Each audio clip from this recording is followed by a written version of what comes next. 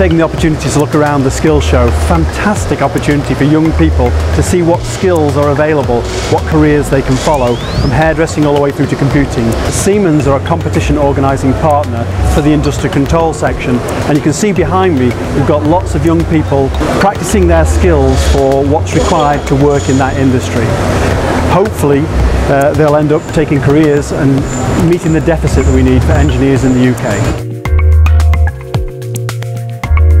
This is my second year being as a judge and I've seen that the standard has been raised quite higher to see how difficult the industry it is. Also they're putting the kids under pressure as well and under stress to see how they can handle the competition.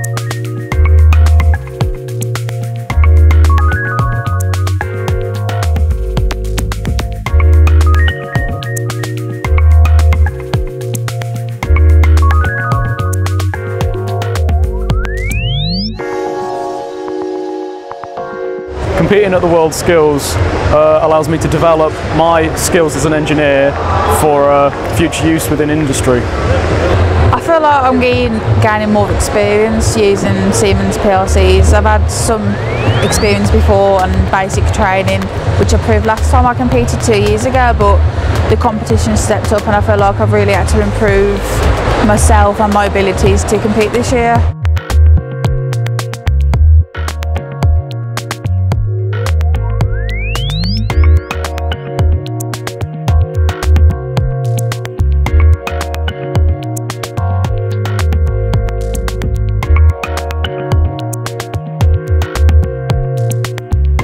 This competition, I feel as I'm earning, I'm earning so much more than if I would if I was training. It's unlike any experience I've done before.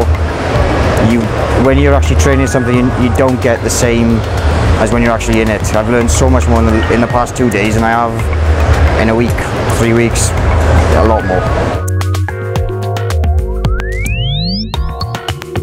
It's great to see industrial control being represented, being involved. Um, and also just the, the kind of attitude of all the kids here, that have a go attitude and uh, just the abilities they have as well. It's really impressive. Skill Show is, um, is brilliant.